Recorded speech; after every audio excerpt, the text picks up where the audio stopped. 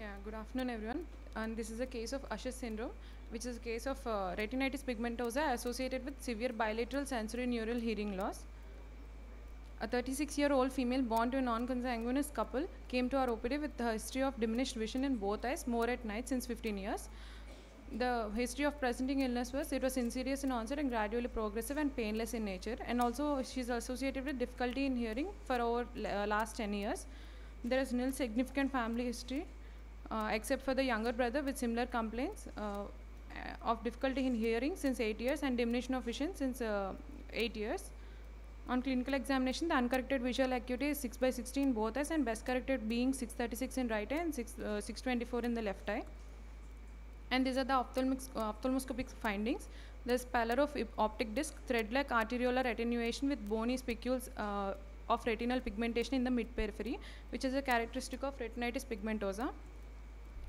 And an ENT consultation was done, and audiometry showed uh, moderate to severe sensory neural uh, deafness in both the ears. Usher syndrome is a heterogeneous autosomal recessive genetic disorder uh, uh, which is associated with visual impairment due to retinitis pigmentosa and hearing loss. It's also called Hallgren syndrome, and it is a, it is a disorder that permanently and severely affects the senses of hearing, vision, and balance. It is mainly of three clinical types. Depending upon the severity of the uh, severity and the chron- chronologicity, it is divided into type 1, type 2, and type 3. Type 1 and type 2 being more common. Type 1 with uh, profound hearing loss, loss of night vision by age uh, by 10 years, and balance problems.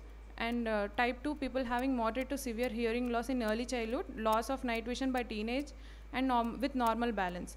And type 3 normal hearing at birth, while hearing loss starts in the childhood, and loss of night vision by teenage and uh, uh, normal with normal balance.